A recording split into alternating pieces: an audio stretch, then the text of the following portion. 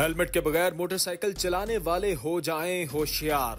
Punjab safe cities authority ने helmet के बगैर मोटरसाइकिल चलाने वालों की निशानदही के लिए आर्टिफिशियल इंटेलिजेंस बेस्ड सॉफ्टवेयर तैयार कर लिया। सेफ़ सिटी कैमरे जदीद सॉफ्टवेयर की मदद से शहर भर में हेलमेट के बगैर मोटरसाइकिल चलाने वालों की निशानदही करेंगे। हेलमेट की खिलाफ वर्जी को आर्टिफिशियल इंटेलिजेंस की मदद से ट्रेस करने के हवाले से ये अपनी तर्ज का पहला सिस्टम है, जिसे पंजाब सेफ़ सिटीज़ अथॉरिटी ने अपनी मदद आप के तहत तैयार किया है। जदीद टेक्नोलॉजी के इस्तेमाल से पंजाब पुलिस की सलाहियत और इस्तेदादे कार में खातिर खा इजाफा होगा।